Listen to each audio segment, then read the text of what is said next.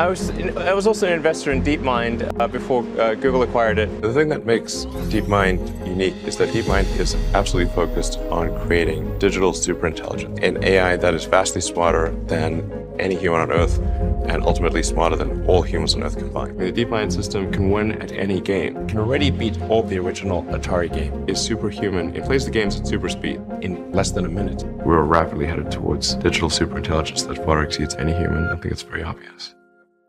Artificial intelligence. Yeah, the thing that has something to do with computers being smart.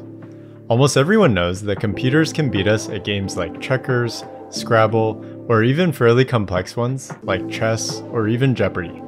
However, there's still some debate about whether or not computers will ever be able to outsmart humans altogether. Also, could computers understand human emotion? Could they replace us at our jobs? There's a company that you probably heard of that's developed systems that are getting better than us one task at a time. And now they have a level of generality that's impressive or frightening, I guess. Omar and I made this video to showcase the extraordinary accomplishments the team at DeepMind has made, and make you reconsider what our future might look like if computers really do surpass humans in every way.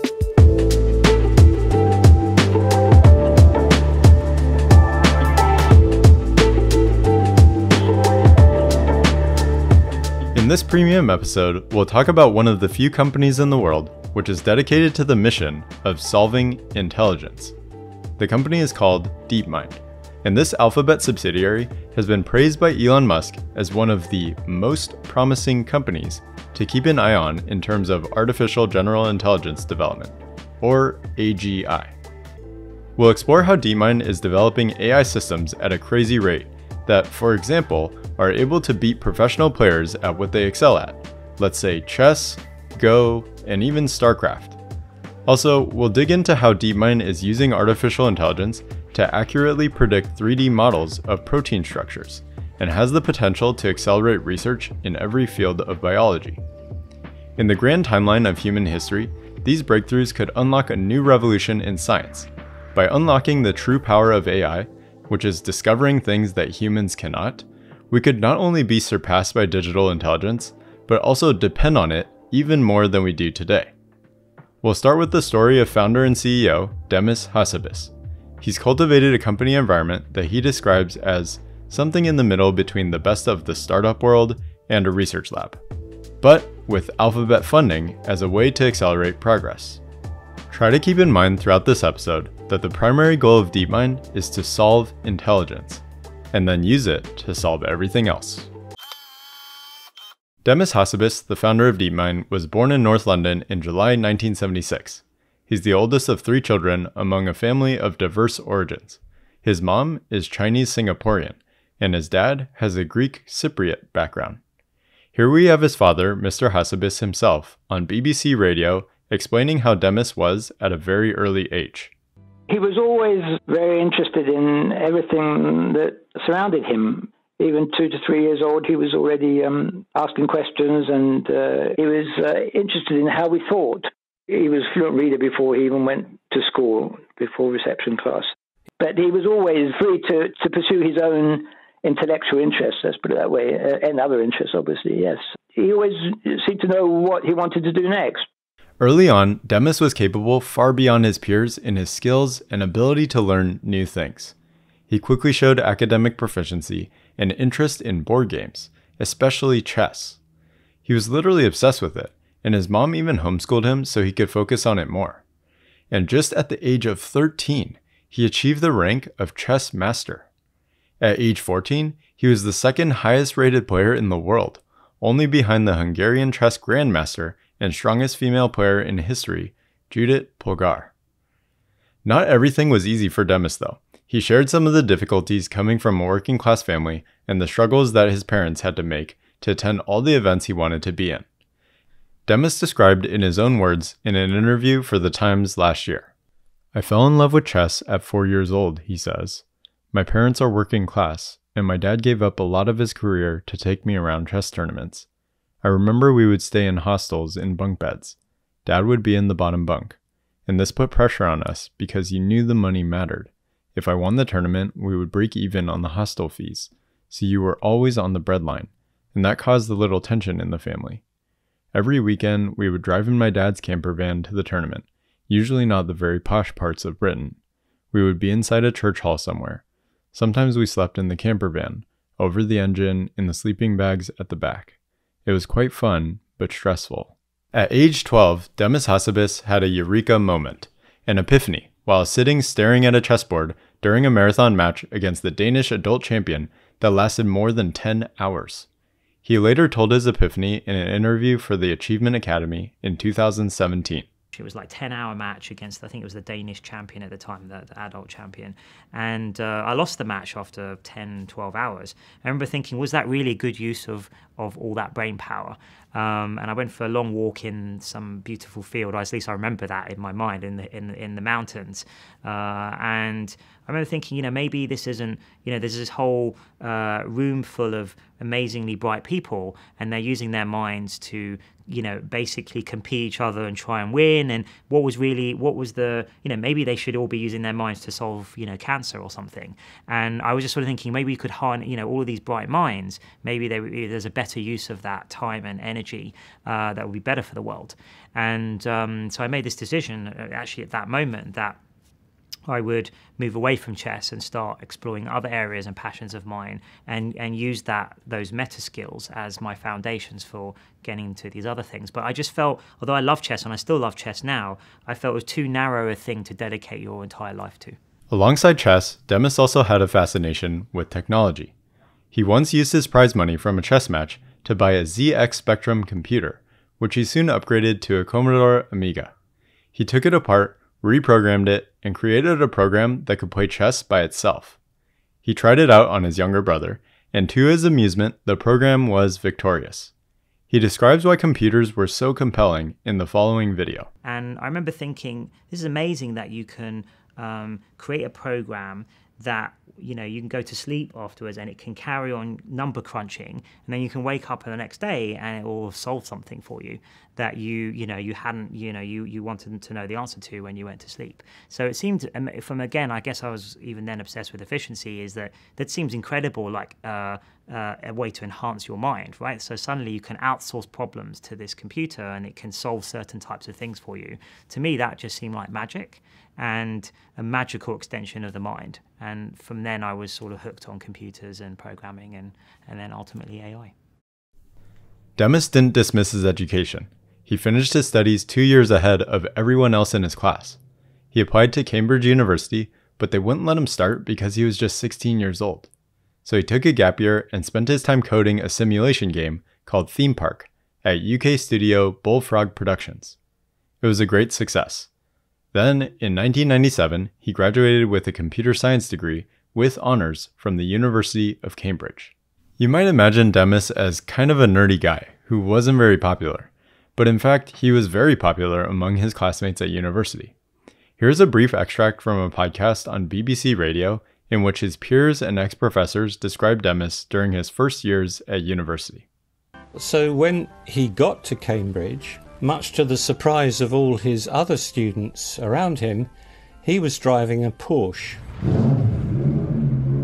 It was certainly a fancy car, and nobody had a car. Ben Coppin was in the year above him, was his designated buddy in those first weeks, though if anything, he seemed in awe of him. He was almost like a minor celebrity right from the beginning you know, everybody knew who he was and everyone knew about his background. Hassabis told Radio 4's Desert Island Disc programme he parted big time in his first year at university. I was working literally from the day after my A-level exams to the day I got to Cambridge. So I was determined at Cambridge to have, you know, a great social time.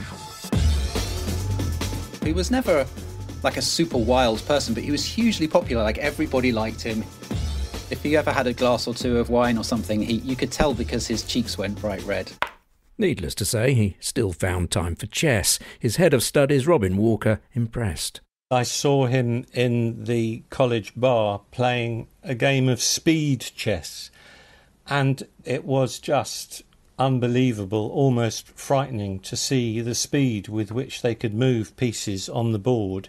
After finishing his studies, he founded the video games company Elixir Studios, producing award winning video games for global publishers such as Vivendi Universal.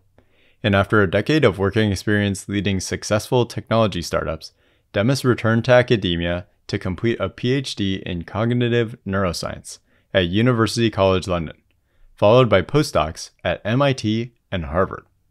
His thesis from his doctorate was related to the links between memory and imagination. He also co authored several influential papers in the field. Here we have a clip of Demis explaining why he studied neuroscience and why it's really the only field worth studying. So, from a young age at school, I kind of came to this realization that, in some fundamental sense, there's only two subjects really worth studying physics and neuroscience. And, uh, and for physics, of course, is all about explaining um, the external world.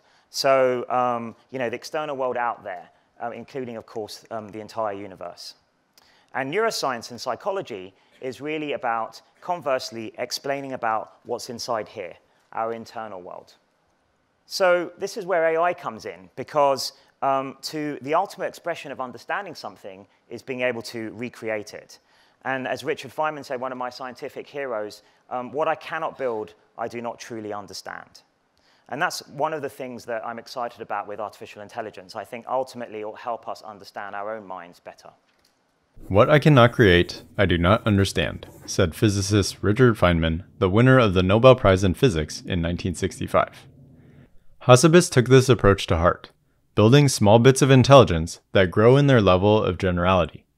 This is the key insight that has catapulted DeepMind to what it is today a blend of company slash research lab whose sole purpose is to build intelligent tools and then use those AI tools to solve difficult problems that would be impossible to solve without the use of vastly smarter machines.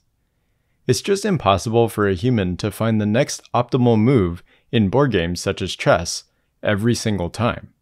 Now, imagine all the complexity and open endedness of real world scientific problems.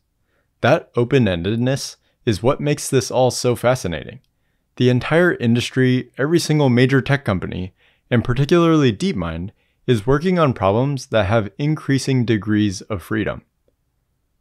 Now, going back to Demis, he has long been determined to build intelligent machines. He pivoted from an early interest in board games to game design then computer science, and AI. Then he started his own entrepreneurial endeavors for 10 years before going back to university to get a PhD in neuroscience.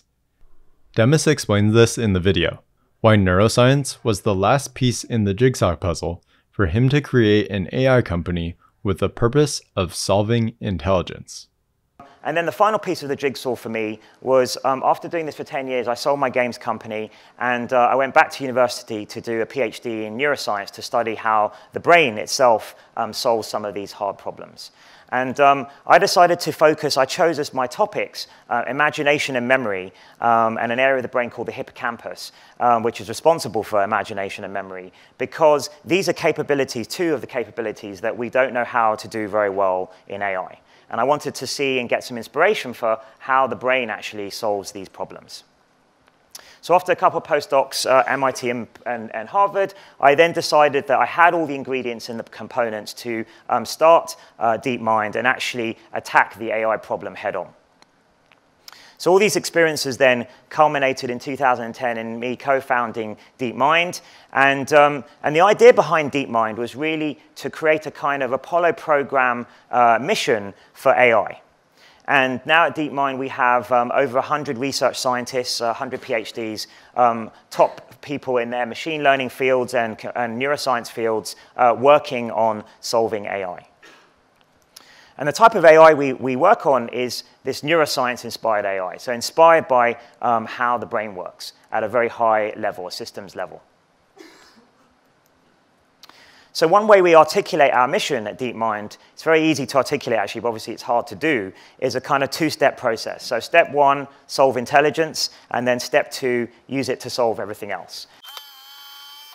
DeepMind Technologies was co-founded by Demis Hassabis and two others. One was Shane Legg, a machine learning researcher from New Zealand, and two was a childhood friend, Mustafa Suleyman, an Oxford dropout. Their company website reads Like the Hubble telescope that help us look deeper into space, these tools are already expanding human knowledge and making a positive global impact. Our long term aim is to solve intelligence, developing more general and capable problem solving systems known as artificial general intelligence. DeepMind is a hybrid between a startup and a research lab, and the reason for that was explained by Demis in this clip from the DeepMind podcast, hosted by Hannah Fry.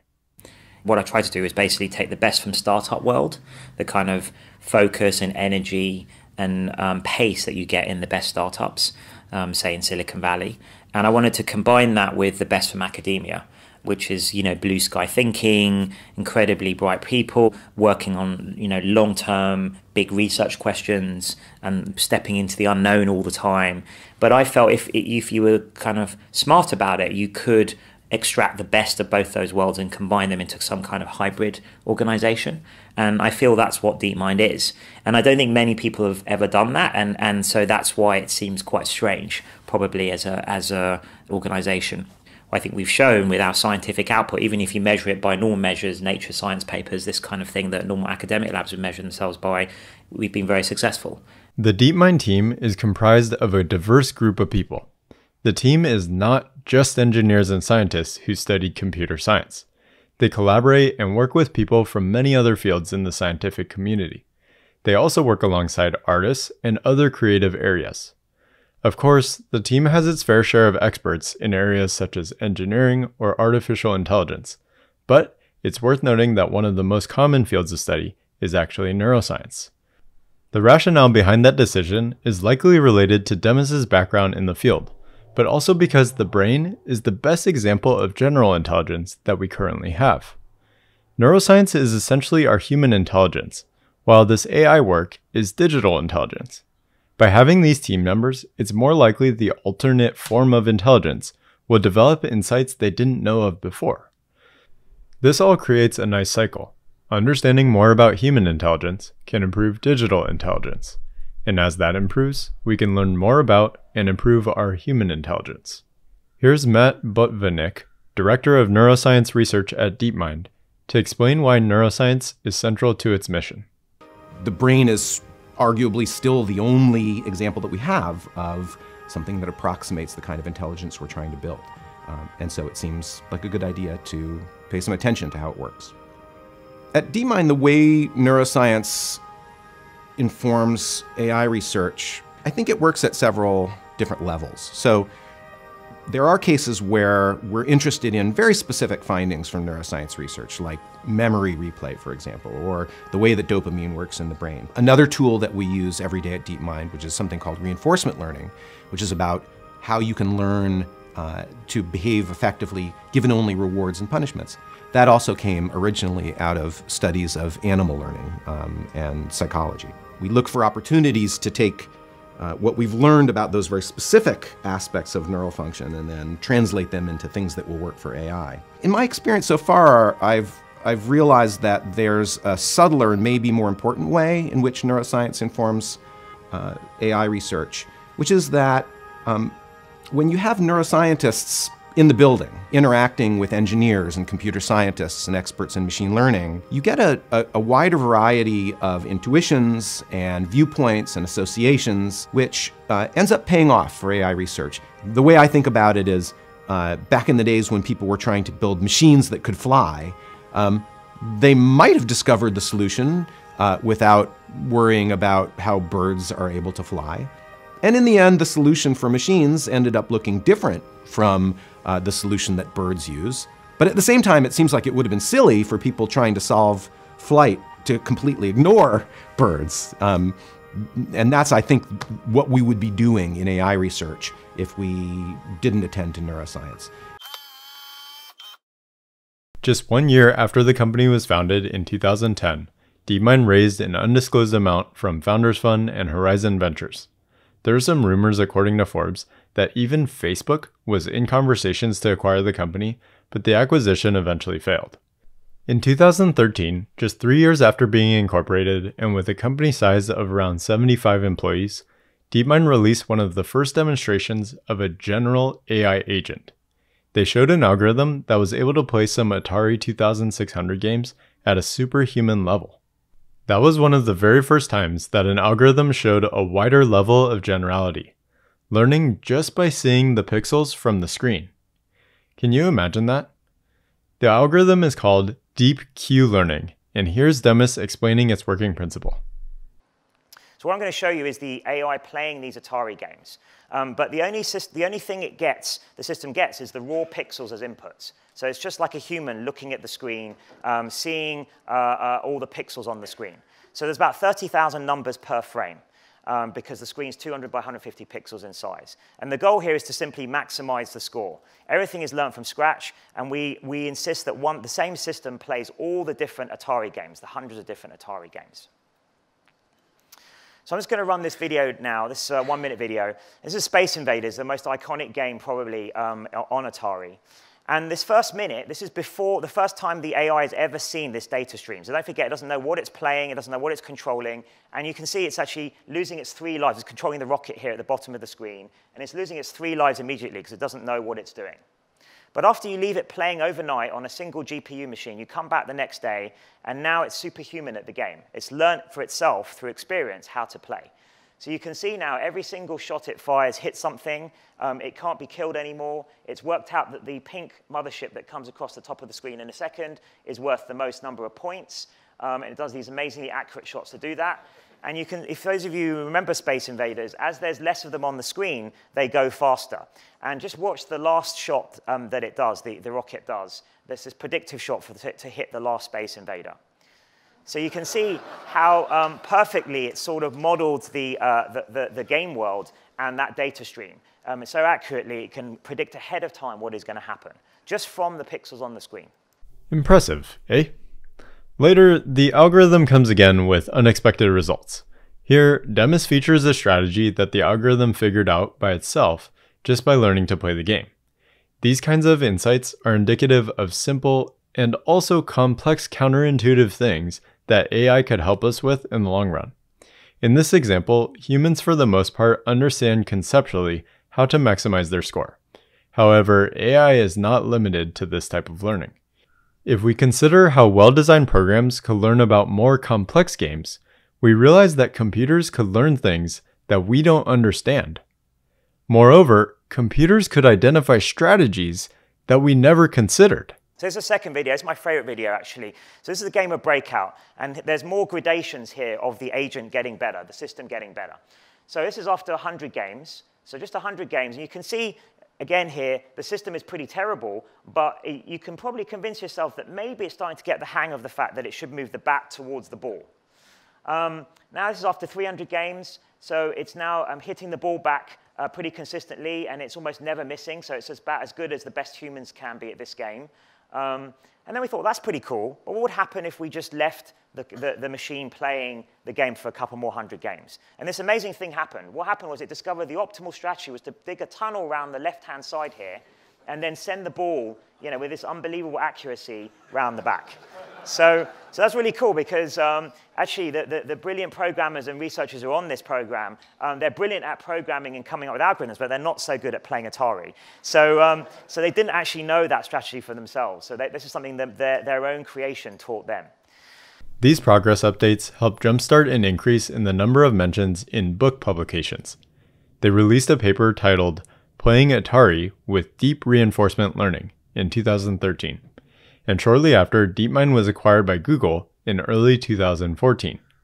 This $650 million acquisition was Alphabet's or Google's largest acquisition to date. Surely, the guys at Google understood DeepMind's long term potential and value.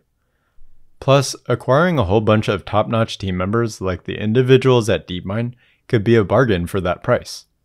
The value of the company today could easily be at least 10 times the price they paid early on. The depth and breadth of impact these AI systems will have could dwarf many other initiatives. The company in the early years was so promising due to its early results and exceptional team that even Elon Musk himself invested in the company early on before Google acquired it. Here's a quote of Elon speaking about AI and confirming his personal investments in DeepMind. I was, I was also an investor in DeepMind uh, before uh, Google acquired it. It's not from the standpoint of, of, actually trying to make any investment return. It's, it's um, It's really, uh, I'd like to keep an eye on what's going on with artificial intelligence. I think there's potentially, potentially a dangerous outcome there, and we need to. Dangerous. Potentially, yes. so? I mean, there's been movies about this, you know, like Well, yes, Terminator. but movies are. Even if that's the case, what do you do about it? I mean, what dangers do you see that you can actually do something about? So you want to make sure that technology is used for good and not Terminator like evil? Yeah, I mean, I don't think. I mean, if the in the movie Terminator, they didn't create AI to, you know what? I mean, they didn't expect, uh, you know, uh, some sort of Terminator-like outcome. It's sort of, you know, like that Monty Python thing. Nobody expects the Spanish Inquisition. It's just like, it's, it's, you know. But you got to be careful. So you, what you, yeah, you want to make sure that. Um, Here's the irony. I mean, the man who's responsible for some of the most advanced technology in this country is worried about the advances in technology that you're aware of. I mean, there, what- Yeah. I guess that's why I keep asking, what? So what can you do? In other words, this stuff is almost inexorable, isn't it? How, if you see that there's these brain-like developments out there, can you really do anything to stop it? I, I don't know. Well, what should AI be used for? What's its best value? I don't know. But there's some scary outcomes, and we should try to make sure that the outcomes are good and not bad. Um, yeah. Or escape to Mars if there's no other option? The AI will chase us there pretty quickly. It may seem odd to some folks that Elon made his investment not as a way to make a profit, but as a way to keep tabs on the development of AI. Through this investment, he now had more exposure to the capabilities of the team. And now, with Google funding and resources, the potential of the company increased even more. One of the key limitations of artificial intelligence methods is the access to huge amounts of computing and data. And Google was, and probably still is, one of the best positioned companies in that regard. And on Google's end, they'll reap the benefits of the algorithms and innovations developed by the DeepMind team. One of the early applications that they got was the optimization of the energy usage in data centers. For example, the team at DeepMind was able to reduce Google's data center cooling bill by 40%. And with examples like that, Elon was further intrigued. He made comments in a documentary about AI safety, about DeepMind, and the dangers associated with their applications if they are left unchecked. Google acquired DeepMind several years ago. DeepMind operates as a semi-independent subsidiary of Google. The thing that makes DeepMind unique is that DeepMind is absolutely focused on creating digital superintelligence, an AI that is vastly smarter than any human on Earth, and ultimately smarter than all humans on Earth combined. I mean, the DeepMind system can win at any game. It can already beat all the original Atari games. It is superhuman. It plays the games at super speed in less than a minute. DeepMind's AI has administrator level access to Google's servers to optimize energy usage at the data centers. However, this could be an unintentional Trojan horse. DeepMind has to have complete control of the data centers, so with a little software update, that AI could take complete control of the whole Google system, which means they can do anything. They can look at all your data, they can do anything. Based on Elon Musk's statements regarding artificial intelligence, it's no surprise that Neuralink exists. DeepMind and similar companies are working to create a superintelligence, vastly smarter than all humans combined. The problem of AI control is stated by Elon here. We're rapidly headed towards digital superintelligence that far exceeds any human. I think it's very obvious. AI doesn't have to be evil to destroy humanity. If AI has a goal and humanity just happens to be in the way, it will destroy humanity as a matter of course without even thinking about it. No hard feelings. It's just like if we're building a road and an anthill happens to be in the way, we don't hate ants. We're just building a road. And so goodbye anthill. We, we have five years. I think digital superintelligence will happen in my lifetime. 100%. I think it's incredibly important that AI not be other. It must be us. And I could be wrong about what I'm saying. I'm certainly open to ideas if anybody can suggest a, a path that's better. But I think we're really going to have to either merge with AI or be left behind. The concerns are clear. Digital superintelligence is one of the sure things that will happen in the near future. And companies such as DeepMind are building these systems with a level of generality that is both exciting and frightening at the same time. DeepMind and the team continued to unveil key innovations on the road to solving intelligence. One of the features of that was the creation of a project called Neural Turing Machines, in which an algorithm mimics the properties of the human brain's short term working memory, heavily inspired by neuroscience. The algorithm was unveiled in 2014, and it was able to mimic some of the features of our human brain's memory, and even program like a human to solve problems. The Alphabet subsidiary has no shortage of breakthroughs. The global recognition started ramping up when DeepMind beat the European world champion Fan Hui 5 0 in a Go match against the system called AlphaGo, developed by DeepMind. That was the first time an artificial intelligence defeated a professional Go player. Here we have the impressions of Fan Hui speaking about his experience playing against the machine. I play with AlphaGo Aja Huang pushed the stone for AlphaGo. And of course, I think I will win the game with AlphaGo because it's just a program. The first game, I make some mistake and I lose the game. In that first match, I think something clicked for him that this wasn't an ordinary Go program. We weren't just doing the, the same as everyone else, that something new was happening. The second game, I try change my style. But the problem is also I lose the second game. And also for third game, fourth game, even the last game. I lose 5-0. AlphaGo win all the game. Later, using the same system, they defeated the world champion Lee Sedol in a 4-1 match in favor of AlphaGo.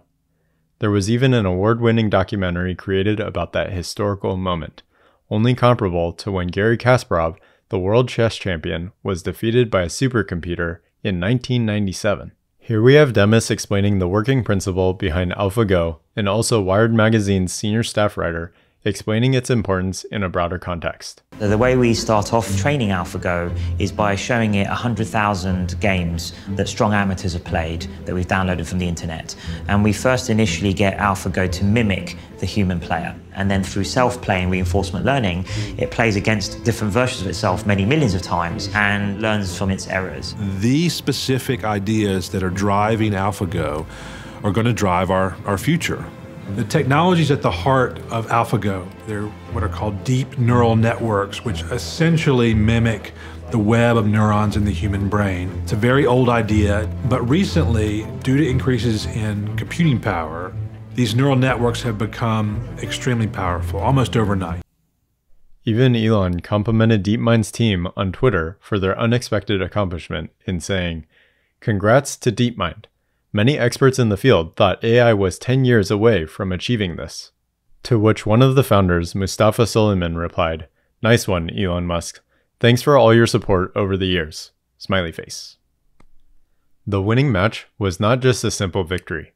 Demis has always been striving to find unexpected insights from computer systems, and that was embodied by Move 37, in reference to the number of movements where AlphaGo introduced a sort of machine-based creativity into the game in order to defeat the world champion.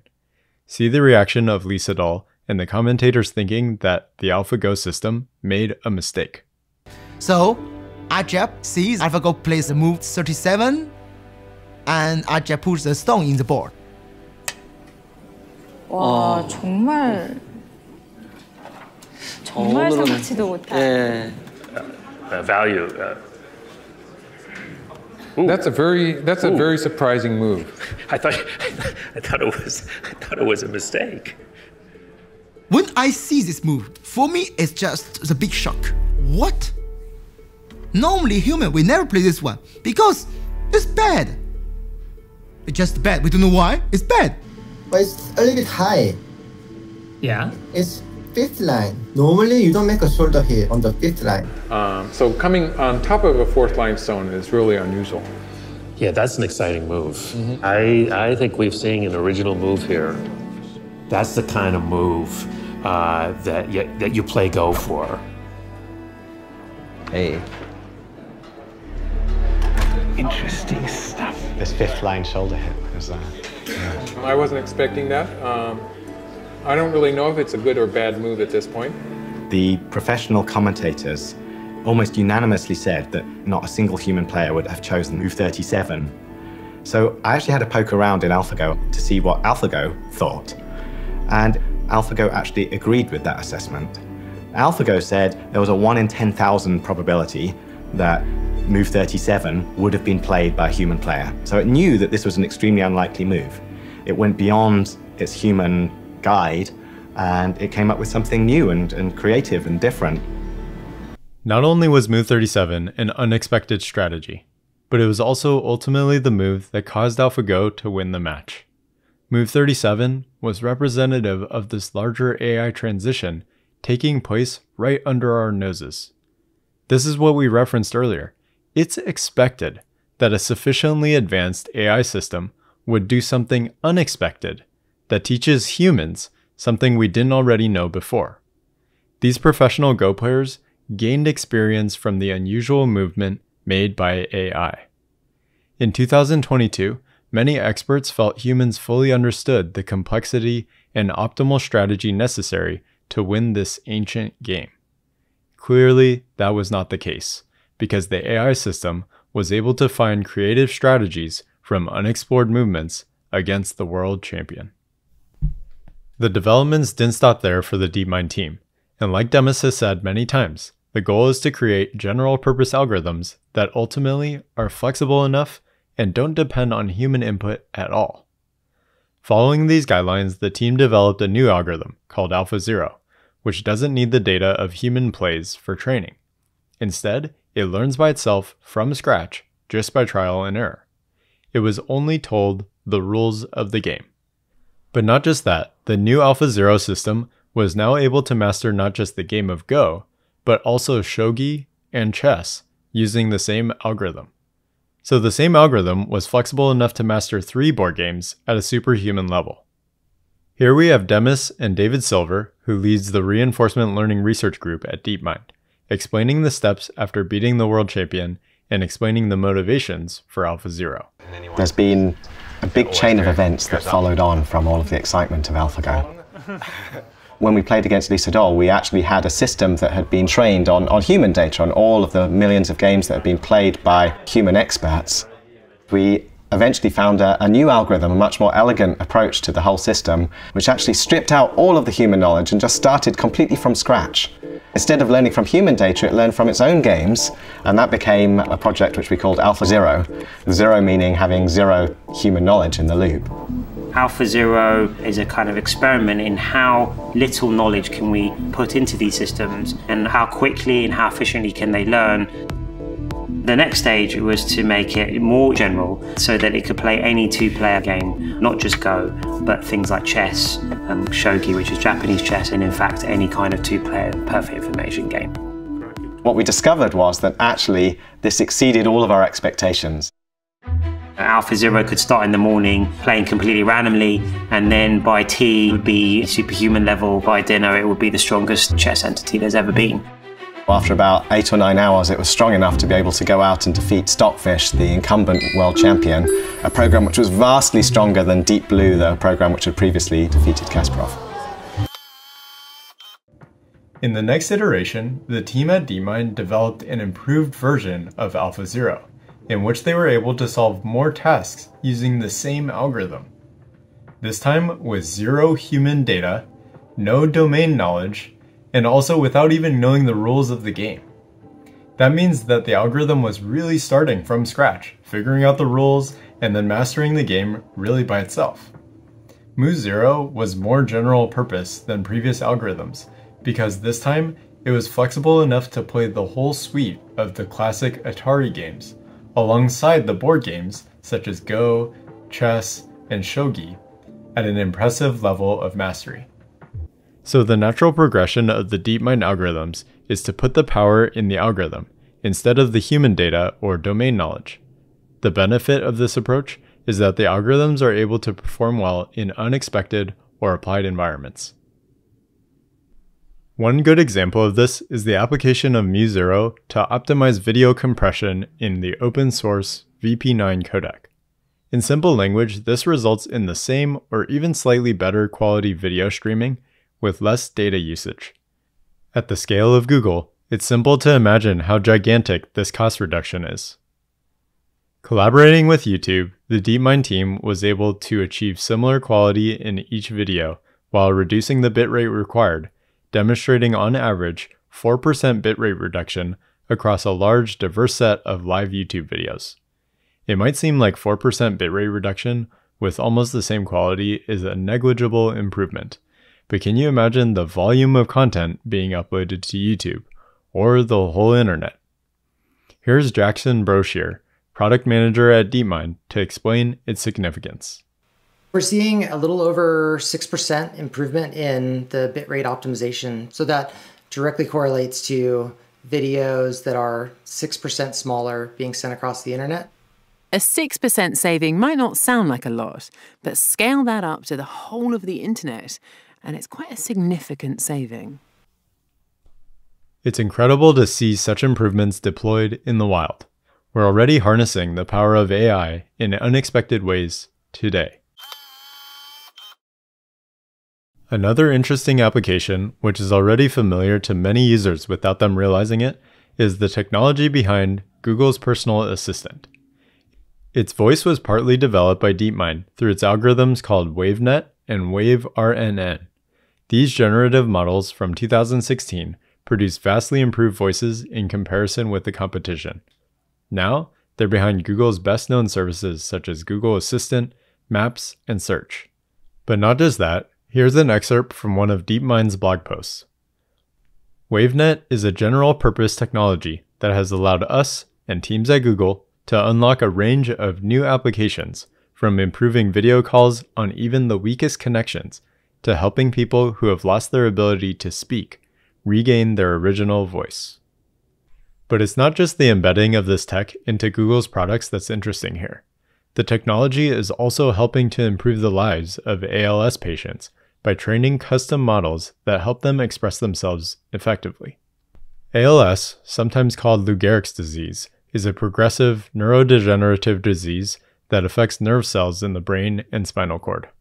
Over time, some patients lose their ability to move certain muscles, thereby making it difficult for them to speak. Here we have Julie Cattiau, project manager at Google AI, who talks about the use cases that this technology has in order to improve the lives of people with unfortunate disabilities. My name is Julie. I'm a product manager here at Google. For the past year or so, I've been working on Project Euphonia. Project Euphonia has two different goals. One is to improve speech recognition for people who have a variety of medical conditions. The second goal is to give people their voice back, which means actually recreating the way they used to sound before they were diagnosed. If you think about communication, it starts with understanding someone and then being understood. And uh, for a lot of people, um, their voice is like their identity. In the US alone, roughly 1 in 10 people suffer acquired speech impairments, which can be caused by anything from ALS to strokes to Parkinson's to brain injuries. Solving it is a big challenge. Another gaming related AI initiative from DeepMind is called AlphaStar. It's an algorithm that was specifically designed to compete at StarCraft at a professional level similar to how AlphaZero did with chess and Go. This new challenge was tackled by DeepMind, and after some trials with other players, they decided to have a match against Mana, one of the strongest players in the world. He's been playing the game since he was 5 years old. But like we saw with DeepMind's experience in chess and Go, the story repeats. Here's a clip of Mana having confidence in winning, but Alpha Star beat him in a 5 0 match. I'm hoping for a 5-0 not to lose any games, but I think the realistic goal would be 4 and 1 in my favor. I think he looks more confident than TLO. TLO was quite nervous better. before. The room was much more tense this time. Really didn't know what to expect. He's been playing StarCraft pretty much since he's five.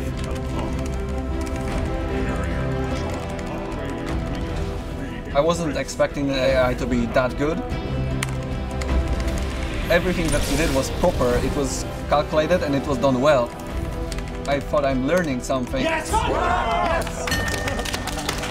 It's much better than I expected it to be. I would consider myself a good player, right? but I lost every single one of five games. Here are more of Mana's reactions from a DeepMind blog post. I was impressed to see AlphaStar pull off advanced moves and different strategies across almost every game, using a very human style of gameplay I wouldn't have expected, he said. I've realized how much my gameplay relies on forcing mistakes and being able to exploit human reactions, so this has put the game in a whole new light for me. We're all excited to see what comes next. Does that message sound familiar? Mana is echoing the idea that AI can teach us things we didn't already know. This also shows that DeepMind is making progress in AI in a much more dynamic environment, such as real time strategy games such as StarCraft. So we can see here that DeepMind is not just working on developing these AI based technologies, but also applying them to solve huge problems and improve the quality of life of many citizens. They're focused on solving huge problems in science. In fact, this is one of the main drivers for Demis Hassabis, providing tools to accelerate scientific discovery to solve the world's most urgent problems. A major and recent breakthrough by the DeepMind team was the creation of an AI system that can accurately predict the structure of proteins. They followed the same successful strategy as previous algorithms such as AlphaGo, making use of human input data and domain knowledge in order to create an algorithm to solve a huge problem. But first, what is protein folding? We've discovered more about the world than any other civilization before us. But we have been stuck on this one problem. How do proteins fold up? How do proteins go from a string of amino acids to a compact shape that acts as a machine and drives life? When you find out about proteins, it is very exciting. You could think of them as little biological nanomachines. They are essentially the fundamental building blocks that power everything living on this planet. If we can reliably predict protein structures using AI, that could change the way we understand the natural world. This gigantic task is only comparable to the mapping of the human genome. The implications of this breakthrough are difficult to predict, but making this enormous dataset available to the public to accelerate scientific discovery is one of the most remarkable things about DeepMind. They've not only shared countless great lectures on YouTube about artificial intelligence, but they've also open sourced many of their tools, innovations, and algorithms.